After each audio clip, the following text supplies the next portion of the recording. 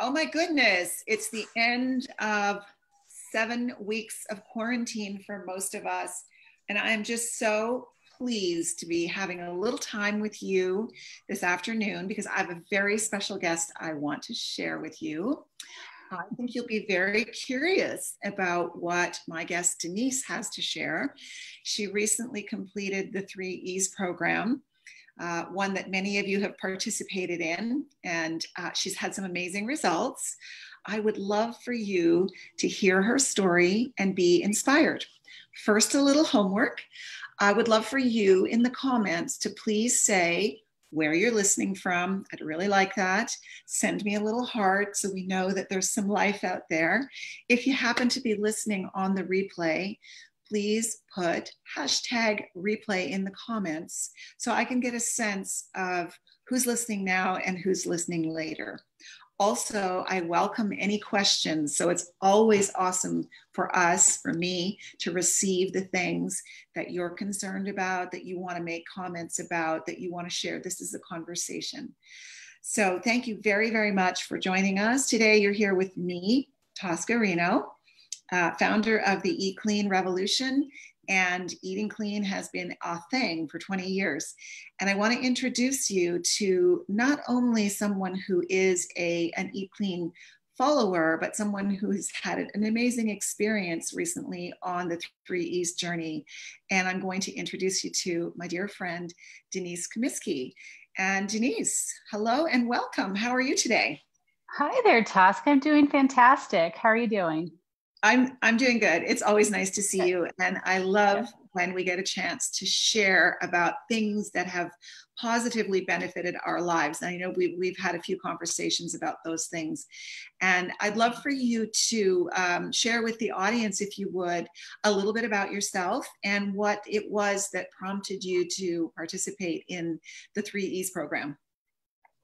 Okay. Um, well, I've always been a big fan of yours, dating way back to like 2004, 2005. I bought all the books, Thank Oxygen you. Magazine, the whole thing.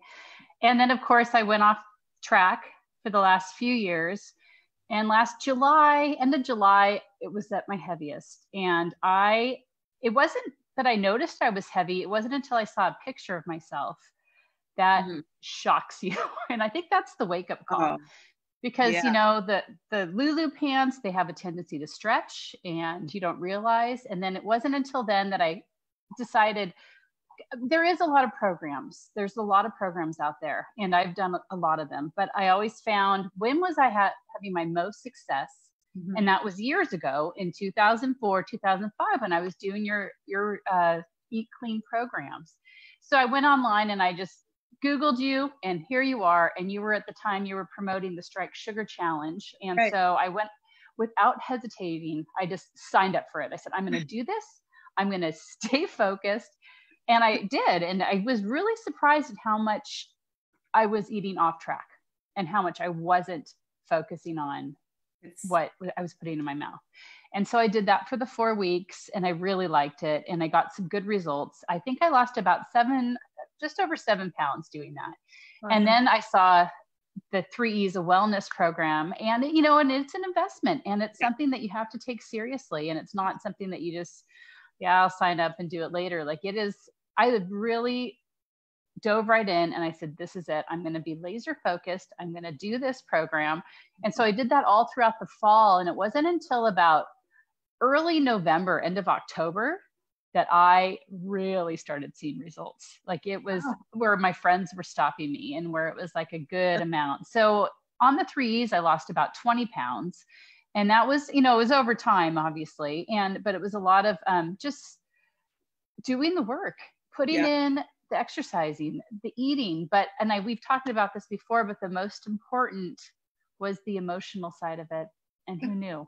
Who knew, right? Exactly. And I think that's what's yeah. missing from a lot of the other programs is the emotional side and the time you take just for yourself and just to mm-hmm. sit with yourself and kind of manifest what you want and manifest what we want to do. And um, so I really enjoyed that program. And of course, working with you and being able to have access to you and ask questions and uh and so that's been really helpful but i think one of the main things i got out of this is i always hated cooking always and by the recipes being able just to put together the paleo loaf now i don't even need to look at the the recipe i just right. know it by heart and i just put it together and it's not even a thought and being able to go through the recipes and decide this is the one i want today and just being able to make you know the the micro to you're not yeah. even having to think about it so good. and uh, oh yeah so that's yeah. been a big change and it hasn't been difficult like the recipes aren't difficult if you have yeah. the ingredients mm-hmm. and that's yeah. kind of the main thing Beautiful. yeah so i'm still doing it and my girls are home and so we decided to do the strike sugar challenge again together since we're all home together. Yeah. So we just started that three days ago uh, with the family. So the girl, I have uh, oh, two older daughters, 21 and 19, and then an 11 year old. But uh, we're all doing the program now, and uh, it's pretty fun to share that with them. It's being together. yeah. Oh, it's good. I mean, we're all living together. We might as well do this yeah, together. exactly. Quarantine yeah. situation. Um, yeah. Denise, thank you for sharing that. I just wanted to go back to one of the pointers, which was, um, and I think you shared this with me in a conversation we had recently. Because um, for those of you who are not aware, I also do coaching, one on one coaching, and Denise has become also one of my coaching clients. So, um, and we had a conversation, I think it was earlier this week, if I'm not mistaken, or late last week. And you said something to me about what happens to you in the afternoon Oh, when oh, yeah. you are, and I think you use the word craving, and you will, I think people who are listening will be surprised. It's not yeah. food she's craving. well, of course, we all heard about that afternoon slump where we are craving, be it a cup of coffee or the, you know, the candy or whatever. And so now I'm finding by about three o'clock, I almost crave that solitude or that meditation. So I that time with myself and be it you don't need to have a guided meditation even just to have that music mm-hmm. and that 10 to 15 minutes just to sit down and to be quiet and just kind of reflect and that's what i crave in the afternoon now not the cookie or the the coffee it's it's the actual time just with myself because we are running around and people you know especially with kids you're you're busy and you're running around and you're doing this this this and it's nice to say hey this is my time i'm sitting down and my kids know if I have my headphones on, not to disturb me. so it's been really good. yeah, um, exactly. Um, so it, has that been an adjustment for you? Because I don't believe that meditation was something that you've been doing before, or at least not maybe mm-hmm. consistently. Definitely not consistently. I mean, we all heard of meditation thinking it would be good. And, you know, you do the odd yoga class and at the end you do Shavasana and it's all nice. Mm-hmm. But it wasn't something I consistently was doing until I joined the Threes of Wellness, but not so much the meditation. And right after that, I always do the gratitude journal or any, you know, it doesn't always have to be gratitude, gratitude, but it's definitely a way to go through. And it's funny because I was just looking through some of my past journaling from early February today, going, "Oh my gosh, what happened?" Yeah, so much. But changed. yeah, so I know, but because it makes me accountable when I do my morning meditation, then I do the journaling right away. And it's almost like it just goes hand in hand. You yeah. do that and go right into the journaling. It doesn't take long. Like it maybe takes 15, 20 minutes total. And it's right. a nice way to start the morning. Maybe you put the, the coffee maker on while that's going, then that's when you do the meditation. Absolutely. It's a nice way just to just to kind of wake up. And I, now that's my routine every single morning now. And uh, the afternoon around 2 30, 3 o'clock, that's my afternoon meditation for sure. Mm. Oh, yeah, it just beautiful. makes me feel better. I know. Well, I, thank you. I, you know, I'm so grateful that you made that a part of the program. So I'm wondering if um, you think that there are noticeable benefits in your well-being or your state of wellness as a result of meditation because people often think it's just a very esoteric thing they can't really feel it or touch it um, and so has this sort of translated into some sort of benefit that you can say, yeah, I've noticed this? Well, honestly, this is a great time, I think, if you are going to start meditating because people are home with their families and that constant interaction. I've noticed, I mean, of course, we all have our moments, but the, the patience with everything is really, really uh, resonated with me in regards to just being mm-hmm. able to handle the things a little bit more or yeah. easy easier with the kids and trying to get them to do their online schoolwork or having them you know whatever mm-hmm. that's kind of helped i know that's helped for sure through the meditation there is um uh, an outcome of meditation that includes a bit of that the stillness within yourself and the ability to observe what's going on around you and be less ready to whip out the gun or the reaction, you know, because we're all wanting to just pounce. And I found with meditation for myself too, it allowed me to just sort of step back and say, that's not really about me. I'm just going to observe what's happening here. And so there's a lot less energy going out the door towards things that don't really count you know yeah. um, and, and you can let other people handle their stuff so which is which is a great outcome and of course there's a lot of unseen benefits like lower blood pressure less anxiety do you think yeah. that um, with regards to because there, there was a statistic that came out this week that one in two of us are struggling with a greater sense of depression or anxiety as a result of the COVID situation and quarantine. Do you think that um, this has helped you perhaps prepare for managing uh, the situation right now, having having practiced meditation? Yeah, you know, I mean, I'm still, I, mean, I'm always learning, and I think practicing is a good word for it.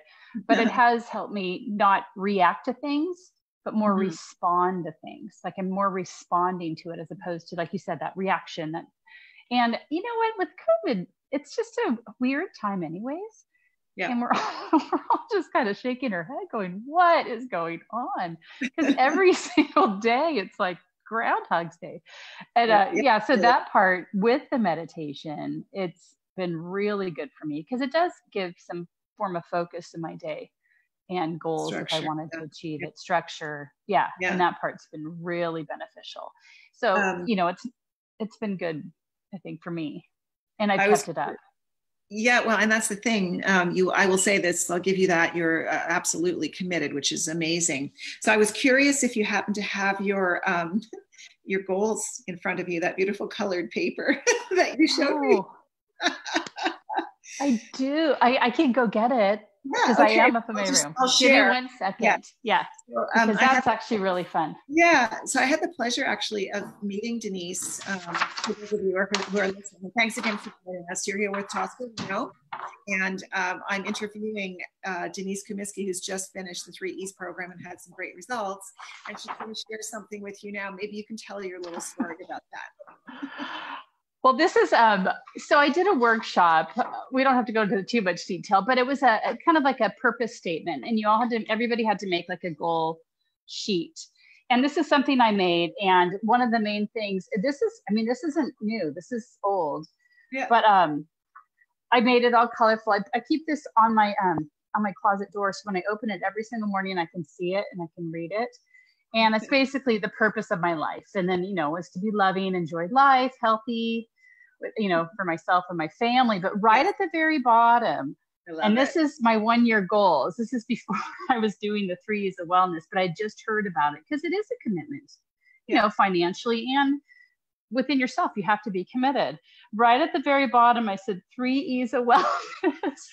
and sure enough, here I am. And it's funny because, yeah. you know, when you write it down and then you see it almost every day, it's mm-hmm. something where you know you kind of manifest it. And um, of course i you know ultimate health and i you know i had some other goals uh, that i wanted to accomplish but the threes of wellness made the one year uh, goal sheet and that was before i even did it. And that's i think i did this when i was doing the strike sugar challenge oh, yeah. and i was just reading about the three getting some clarity wellness because it hadn't set.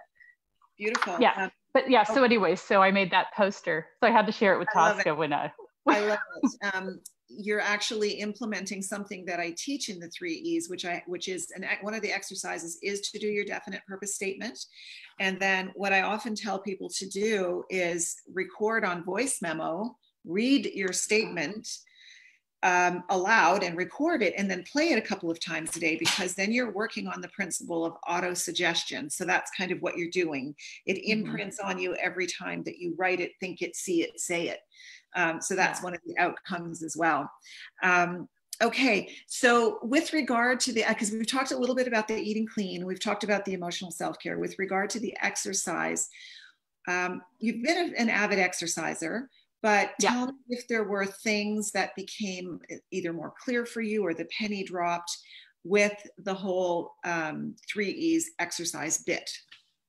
Well, definitely, I was one of those gym moms that I would go and run, you know, go on the treadmill for hour and a half, you know, forever, and never see any difference. You know, those cardio junkies that we call us. And it, it wasn't until you know I started with your program to do the weights and to actually I think I was just tickling the surface of my workouts. I wasn't actually doing a workout. You know, you just like you get a little brow sweat. You're like, oh, this is great. But um, I did go ahead and I got a rebounder, which I oh adore. Oh Even it. if I could just do it for 10 to 15 minutes, it just yeah. if I'm sore, it just helps kind of oh, you know get everything moving. I guess you can say it's really Absolutely. nice. So sometimes I'll just do 10 minutes of that, and then I'll go into my weights. Or um, you introduced a few of the metabolism my metabolism needs to be boosted or you know we need to stay on top of that just because of my age. And i've been doing like i'll do the rebounder and then i do the metabolism workout but the weights, the weights. that's the key. Yeah. And i did not know that. I would do maybe like 10 pounds for five. That would be my workout yeah, and then no, i'd chat no. the rest of the time. Yeah so not anymore. Now that's changed a bit and uh um, you know with this I did pick up a few. I have some free weights, obviously. Um, well, you've seen. I've been. I have a little home gym, which thank God I do have a home gym. Um, yes. And then, you know, I can go downstairs and I can. It's just in my basement. It's nothing fancy, but at least I have a few weights there. Mm-hmm. I have mm-hmm. some space. And then I've, I've followed your kettlebell workout. And I don't know why, but for some reason, I bought the kettlebells right before all this happened. So I had them oh. on hand. Thank God. right so I do have, so it's not, you know, it's nice to have a little bit of equipment, but nothing crazy. No, no big, no. you know, you don't need a lot of big machines or a lot of no, stuff, but just some free weights. Um, I do have a bench down there, which is really good. Yeah. But then, um, and then other than that, I do have a dog. So my dog and I have been walking. And actually, it's funny because my, the health thing on my Apple I see it says you're up in your steps. I've been up like 2,000 steps a day, wow, more than I was before all this started. Amazing. So, so that's, yeah. So, so the COVID like 19, it's not going to be, there's a joke about the, you know, gaining the 19 pounds. And I really feel like for myself, I know I've lost weight. Um, and I think with the structure of eating clean and all the exercise you're doing, I don't think you're going to have a problem with that. well, yeah. I mean, my my biggest drawback, and we've talked about this, is you know drinking wine or being social, socially yeah. drinking. And now yeah. what's going on is all these Zoom calls with my friends, and everybody has a glass of wine. Yes. Oh, yeah. Where's your wine? Where's your wine? And so I'm always like, oh my gosh, I'm not drinking right now. And but it's hard because that's you want to be social and i do you know so that's been my biggest thing is just like you know having some wine here and there but um my husband and i both made a commitment weekend like if we have some on the weekend otherwise you'd be drinking yeah every day which is impossible um, I think we talked about that at the very beginning of your journey, and I used the words re- reframing how you go into yes. a social situation. Can you share a little bit about that um, learning? Yeah it was a really good shift for me because um, and actually you've taught me a lot of different ways to shift my way of thinking which i'm very appreciative um, the drinking for especially because mm-hmm. it's like to enjoy that one glass as opposed to just drinking not thinking about it. Right. Like i'd have you know um, i have one of those never ending glasses of wine because my husband would keep refill refill refill and i didn't even know. But now like i'll have one one glass and now i'm trying to keep it no more than two max throughout the night if we do our drinking a night. That right. way, at least I'm in, a little bit in control of it. Plus, I don't want to be hungover because the next day I have a workout to do. we got to get back to it. yeah. But it, I mean, it's it's hard. It is hard during this time because it is a stressful time. These are unusual circumstances for sure. It is. Yeah, it is. Um, uh, we're going to wrap it up a little bit now. For yeah. those who are listening, uh, I'll just re re um, cap a little bit of this. It's Tosca Reno here, and you're speaking with and listening to Denise Cumiskey, and her experience with three E's has been very inspirational. She has dropped, as she mentions it herself, 20 pounds. I think uh, you said at one time 25, I think, and then. Yeah, I've gained back about three. but um, that's why I'm yeah. doing. We just started the strike sugar again, just to see if we can, you know. And I think it had to do with just the situation. Well. Yeah. yeah. Um, and that 3E's has offered the structure around three components of wellness that the World Health Organization advocates and that I now teach, which is the eating clean, the exercise, and the emotional self care. I think, Denise, you've had success in each of those areas. Um, and so, could I ask you to share? Some inspiration uh, besides all of the other lovely things you've shared. If you were to sum it up for listeners now, considering either the program or Strike Sugar or anything else, which they can all find at uh, on my website at toscareno.com, and there's a research page research page called Tosca at Home. What would you say to someone who's just on the fence thinking about doing any one of the programs?